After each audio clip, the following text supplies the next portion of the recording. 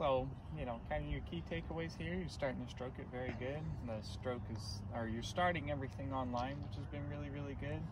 You know, in combination with kind of having the eyes closed drill, really kind of feeling the stroke there instead of being kind of what we were calling stabby.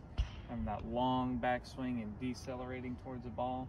We want that nice short, Short back and roll roll it through. through. Yeah. And so, kind of a takeaway and a drill you can do at home while you're waiting. So, not everybody has one of these, though this would be a great tool to have. Um, what you can do is, um, I would get probably two quarters Mhm. and measure out a width that's just wider than the ball.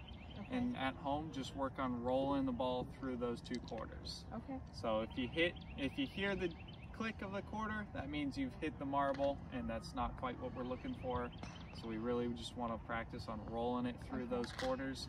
And I think that'd be a really good at-home drill for you to work on. And we'll start hitting the ball in the center of the face. The stroke will start being consistent, and I think you'll see a lot better, a lot greater success in kind of being able to control the speed of your putts going forward.